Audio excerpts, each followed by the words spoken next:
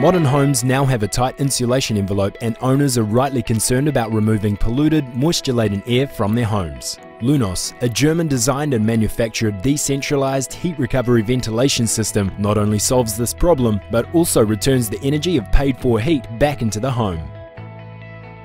The Lunos unit sits in the wall cavity, so roof ceiling space is not required, nor is there the expense of a fully ducted heat ventilation system.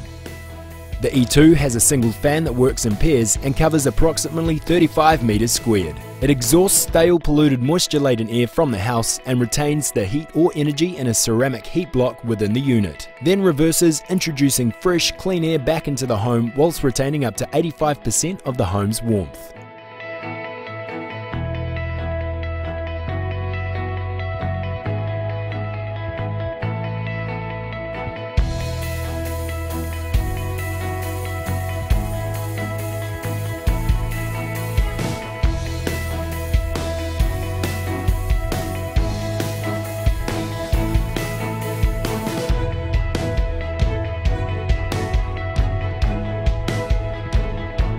The Ego has twin fans which covers approximately 40 metres squared and works the same way as the E2, but only one unit is required and is normally used for larger areas. Lunos also provides a summer bypass function that removes hot trapped internal air and replaces with cool outside air, keeping home comfortable on those muggy summer days or nights. Not only does Lunos provide a clean, healthy living environment, but provides considerable savings on your heat consumption. Lunos fans are safe, operating at a low 12 volt DC and cost less than 1 cent per day per fan.